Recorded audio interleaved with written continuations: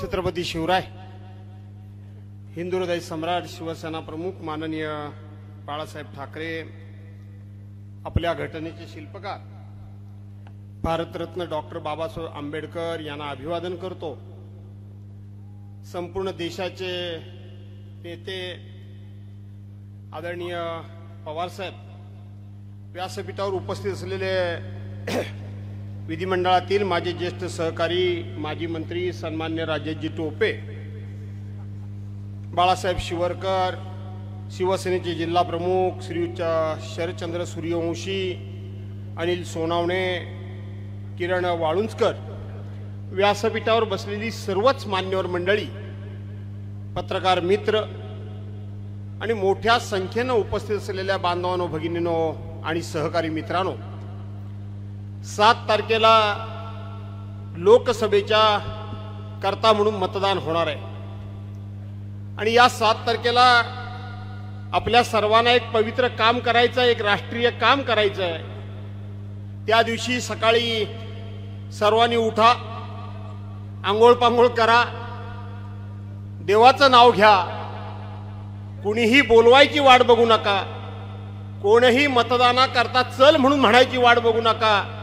तर स्वतःहून मतदान केंद्रावर जा आणि आपल्या इंडिया विकास आघाडीच्या उमेदवार राष्ट्रवादी काँग्रेस पक्षाच्या नेत्या सुप्रियाताई सुळे यांच्या नावासमोरची माणूस घेऊन उभे असलेला तुतारी समोरचं बटन दाबा आणि त्यांना लाखोंच्या मताने विजय करा असा आग्रहाने.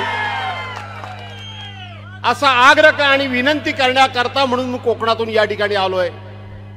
वाजलीच. बांधवानो भगिनीनो पावणे तीन अडीच पावणे तीन वाजल्यापासून मी या ठिकाणी बसलोय.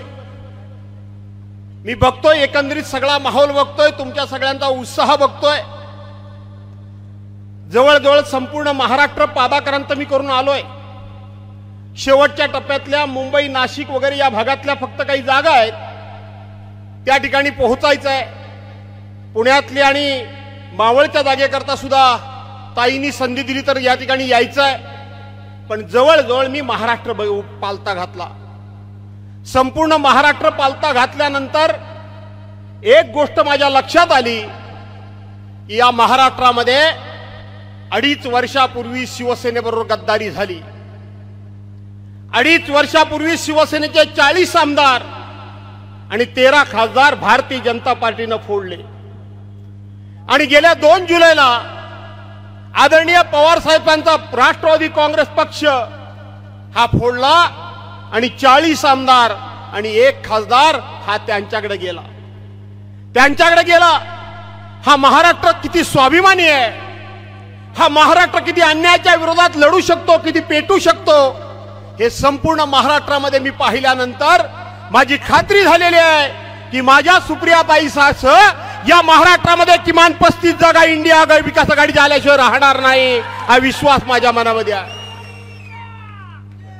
बांधवानो भगिनीनो ताई मगातपासून इथं सारख्या काय म्हणत होत्या मला काही समजलं नाही. त्या म्हणल्या दादागिरी करू नको दादागिरीला भिवू नका दादागिरीला काही किंमत देऊ नका तुमची बहीण पाठीमाग आहे. कोणाबद्दल बोलत होते त्या? कोण? दादा कोण? बघा ताई लोकांना हे माहीत नाही की दादा कोण. पूर्वी फक्त पवार साहेबांच्या बरोबर होते. तेव्हा दादा कोण? तर अजित दादा म्हणून एका क्षणात लोक सांगायची आता लोक अजित दादाला दादा मानायला तयार? आत का तयार? नाही ना?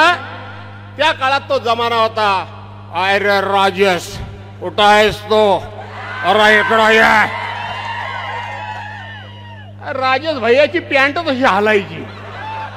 माझी नाही कधी हल्ली हा भाऊ मी आहे ते सांगतो.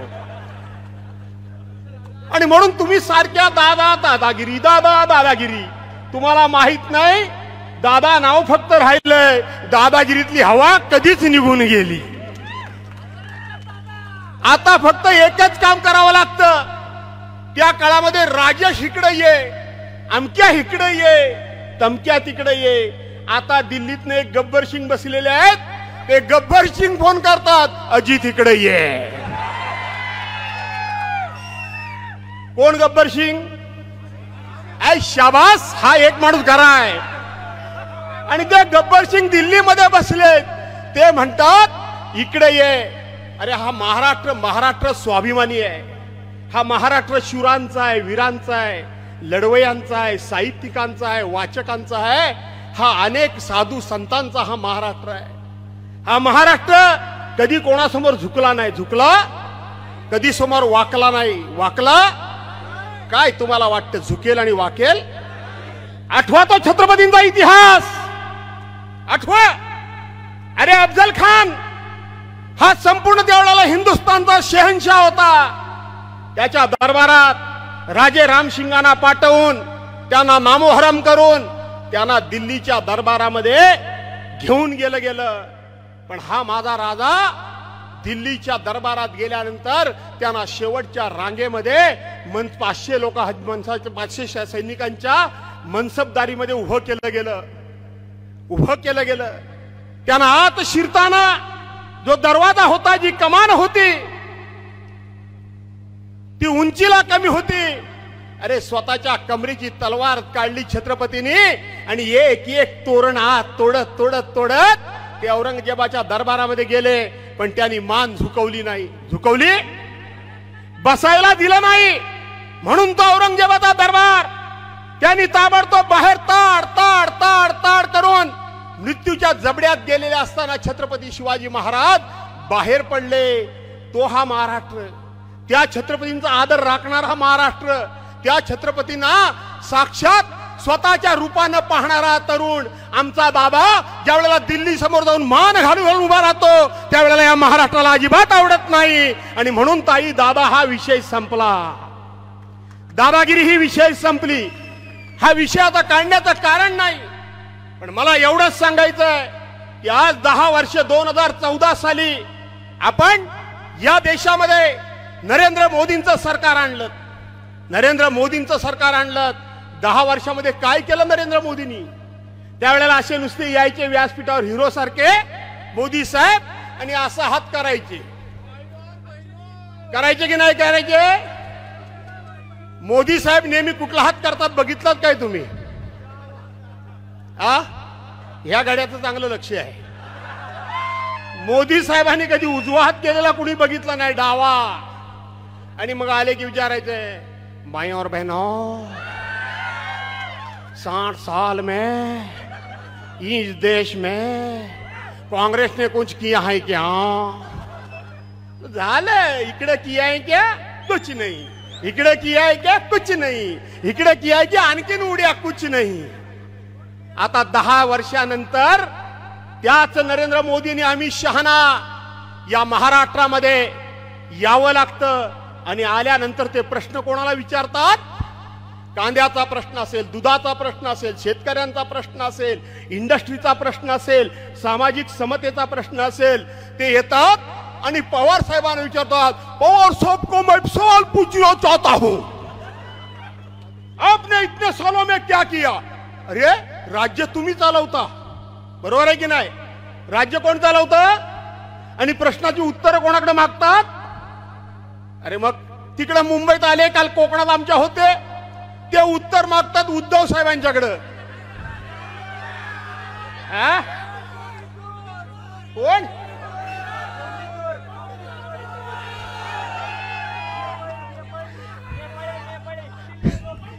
आणि म्हणून काल तिकडे कोकणामध्ये होते ते कोकणामध्ये उद्धव साहेबांना विचारतात उद्धव साहेब को मैं पूछना चाहता हूं? प्रश्न सरकार तुम्ही चालवता देशाचं सरकार तुम्ही चालवता राज्याचं सरकार तुम्ही चालवता आणि प्रश्न येऊन पवार साहेब आणि उद्धव साहेबांना विचारता. बरोबर आहे ना? अरे जर तुमची प्रश्नाची उत्तरं देण्याची योग्यता नसेल तर अशा योग्य नसलेल्या लो- राज्य करताना आज दिल्लीच्या किंवा राज्याच्या तख्तावर खाली ओढलं पाहिजे की नाही ओढलं पाहिजे? याचा विचार तुम्ही करण्याची गरज आहे. यांना खाली ओढलं पाहिजे. यांना गादीवर बसण्याचा अधिकार नाही. लोकांचे प्रश्न तुम्हाला जर सोडवता येत नसतील आमच्या नेत्यांच्याकडे उत्तर मागता. मग तुम्ही कशाला बसता? निघा सोडा गादी. आम्ही आमचे नेते बसवू आणि या ठिकाणी महाराष्ट्र आणि देश आम्ही चालवू. नव्हे? या देशातल्या जनतेला ठरवलेलंच आहे. चार जूनला ज्या वेळेला मतमोजणी होईल त्यावेळेला या देशामध्ये इंडिया विकास आघाडीच सरकार येईल हे मी तुम्हाला आज सांगतो. आणि म्हणून ताई तुम्हाला जर कोण काय बोललं असेल की भाषणं करून काय विकास होतो काय? ताई त्याच्याबद्दल वाईट वाटून घेऊ नका. खरंच सांगतो मी तुम्हाला. वाईट एवढ्या करता वाटून घेऊ नका. सतरा वर्ष त्या संसदेमध्ये तुम्ही प्रश्न लोकांचे विचारलेत. प्रश्न विचारलेत. या देशवासियांची माझी सुद्धा इच्छा आहे की आता तुम्ही प्रश्न विचारणाऱ्या दिसता कामा नये तर जनतेचं प्रश्न विरोधी पक्ष विचारेल आणि उत्तर देणाऱ्या मंत्री म्हणून तुम्हाला आम्हाला बघायचं आहे. बघायचं आहे की नाही बघायचं आहे तुम्ही उत्तर देणाऱ्या मंत्री म्हणून मला बघायचंय तुम्हाला. आठवतो पवार साहेबांचा दिल्लीतला साहेबांना जायचंय म्हणजे थोडं विस्तारनं बोललो असतो.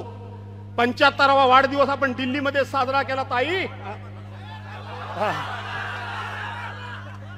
हे मोठं मन हे मोठं मन. सांगणार आहे किस्सा मोठ्या मनाचा मोठ्या मनाचा किस्सा सांगणार आहे. आणि म्हणून ज्या वेळेला पंच्याहत्तरावा वाढदिवस आपण दिल्लीला ताई साजरा केला होता तुम्ही दिल्लीला साजरा केला होता. त्यावेळेला ज्या पद्धतीनं तुम्ही त्या व्यासपीठावर लिलया वावर करत होता. देशाचे पंतप्रधान आले. त्या ठिकाणी अध्यक्ष आले विधान पार्लमेंटचे आले. सगळ्या पक्षाचे नेते आले. तुम्हाला अभिमान वाटला पाहिजे.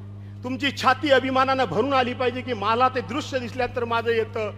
या देशातला मला वाटतं सगळ्यात जास्त वयोवृद्ध जर नेते कोण असतील तर ते काश्मीरचे माजी मुख्यमंत्री सन्मान्य फारुख अब्दुल्लाजी असतील माझ्या अनुभवानुसार. सुप्रिया ताईला बघितल्याबरोबर आओ बिटिया आओ. आओ बिटिया आओ. लालू प्रसाद यादव तुम्हाला माहितीच आहेत कसे आहेत ते. लालू प्रसाद ये बेटी को मंत्री बनाना चाहिए. लालू प्रसाद यादव सोनिया जी असतील. देशातल्या सगळ्या पक्षाचे लोक यात सुप्रिया ताईला पवार साहेबांची कन्या म्हणूनच केवळ मान देत नाही तर आजच्या घडीला देशामध्ये ज्या कर्तृत्ववान महिला आहेत त्याच्यामध्ये माझी छोटी ताई आहे याचा तुम्हाला अभिमान वाटला पाहिजे. याचा तुम्हाला अभिमान वाटला पाहिजे. गावच्या एखाद्या कार्यक्रमामध्ये वावरताना सुद्धा आपल्याला किती ऑकवर्ड होतं किती अडगळल्यासारखं होतं होतं की नाही होतं? अख्ख्या देशाच्या व्यासपीठावर ताई वावरते आणि म्हणून तुम्ही प्रश्न विचारू नये. अशीच मला वाटतं कोणाची तरी सद्भावना आहे. आणि ती सद्भावना आहे की तुम्ही आता प्रश्नाच्या उत्तर देणाऱ्या मंत्री असाव्यात अशी पद्धतीची शुभेच्छा या सगळ्या जनतेची आहे. पण हे सगळं ताईमध्ये कर्तृत्व आहे. हे ताईमध्ये कर्तृत्व आहे. पण त्या जागेवर ताई स्वतः एकटी पोचू शकते का? मग जबाबदारी कोणाची आहे? कोणाची जबाबदारी आहे?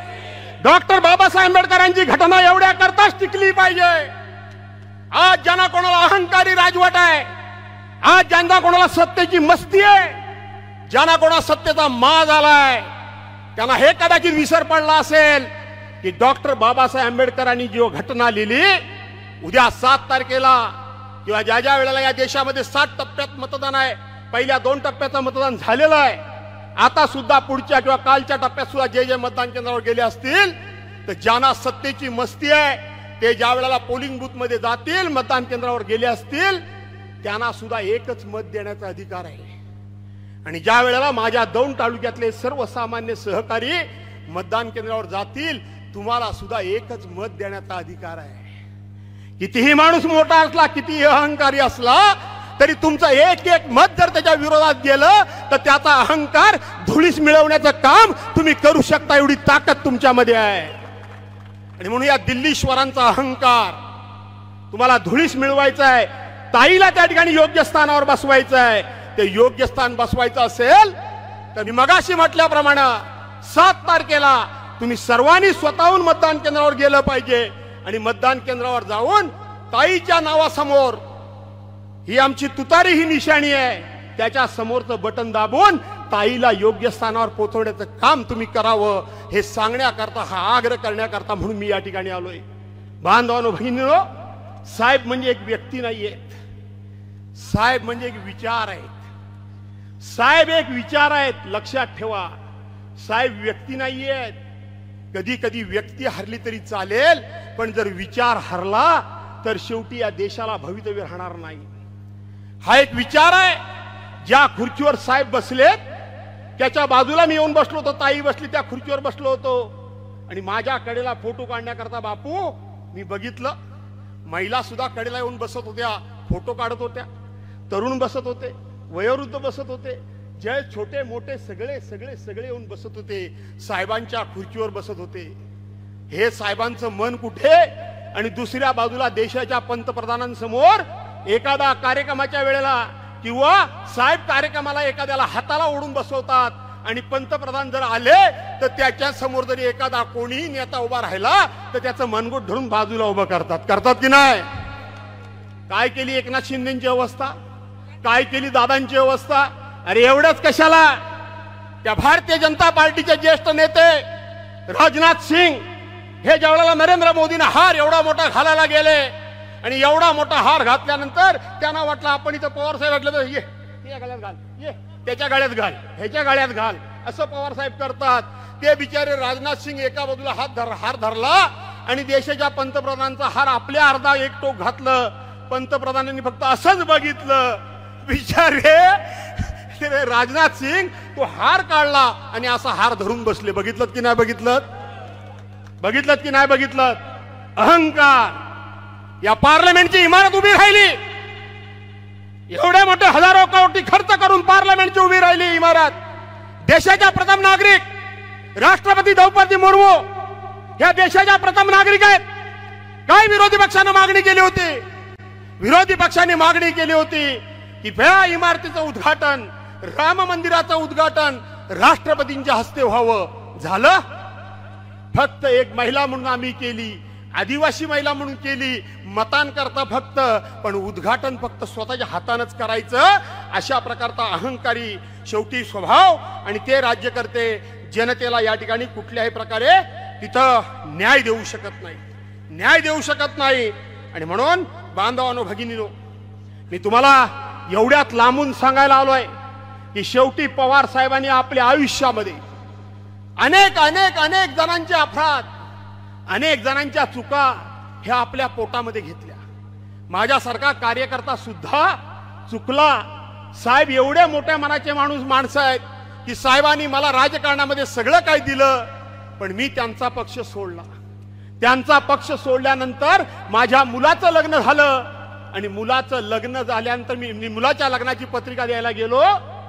मला सांगताना असा आनंद वाटतो की आपल्याला सुद्धा एखाद्या माणसानं डावललं तर आपण सुद्धा तिरस्कारनं बघतो. साहेब म्हटली ये. म्हटलं साहेब माझ्या मुलाचं लग्न आहे. एक फेब्रुवारी होती. त्या दिवशी देशाचा अर्थसंकल्प होता. मला अपेक्षित नव्हतं की साहेब महाबळेश्वरला माझ्या मुलाच्या लग्नाला येतील. साहेब माझ्या मुलाच्या लग्नाला आले. आणि आपण किती छोटे आहोत आणि साहेब किती विशाल मानाचे आहेत किती मोठ्या मानाचे आहेत याची उंची मला मोजता आली नाही. पण मला जाणीव झाली. मी भर लग्न मंडपात साहेबांच्या पायावर प- डोकं ठेवलं भर मंडपात. आणि साहेबांना सांगितलं साहेब चुकलो मी. साहेब मी चुकलो. आज हे सांगताना राजकीय दृष्ट्या माझ्या अडचणीचं आहे पण सत्य बोलताना भास्कर जाधव कधी मागं पुढं बघत नाही. मला साहेबांच्या समोर हे सांगितलं पाहिजे. की साहेब मी चुकलो. साहेबांनी एका हात दोन हाताने मला धडकन वरती उचललं आणि म्हणाले पुन्हा असं कधी बोलायचं नाही. असे हा मोठ्या मनाचे साहेब माझ्यासारख्यांचे अनेकांचे अपराध त्यांनी पोटामध्ये घातलेत अनेक करता अनेकांकरता आयुष्यातली सत्तर वर्ष या माणसानं वेचलेली आहेत. मित्रांनो उन वाकडं वागू नका. विन उन वाकडं वागू नका. काही चूक करू नका. कुठल्याही आमिषाला बळी पडू नका. आणि चूक केलीत तर शेवटी साहेबांना जे दुःख होईल ते दुःख तुम्हाला काय? पण त्या महाराष्ट्राला कदापि सहन होणार नाही. आणि म्हणून माझी खात्री आहे माझी खात्री आहे धाक दपटशा येऊ द्या.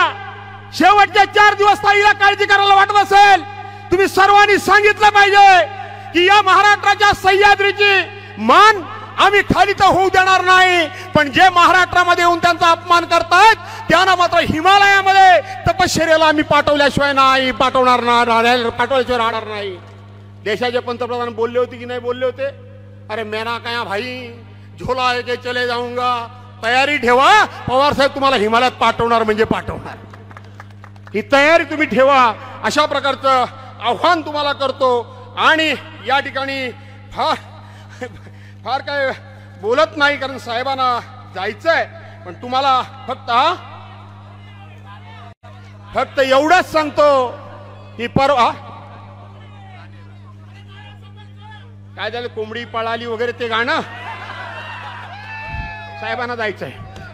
आणि म्हणून परवांच्या दिवशी देशा देशाचे पंतप्रधान सन्माननीय मोदी साहेब या महाराष्ट्रामध्ये येऊन पवार साहेबांना बोलले की अतृप्त आत्मा अस्वस्थ आत्मा भटकता आत्मा. कोण बोललं? भटकती आत्मा. आवडलं तुम्हाला? आवडलं? अरे अतृप्त आत्मा तर तुमचा आहे. दोन हजार चौदा साली दोन हजार एकोणीस साली या देशानं तुम्हाला सत्ता दिली.